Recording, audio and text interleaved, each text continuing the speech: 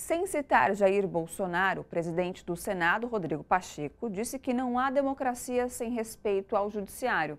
Durante o evento do Conselho de Justiça Federal, Pacheco afirmou ainda que esse respeito se refere ao compromisso com a democracia e com o Estado de Direito.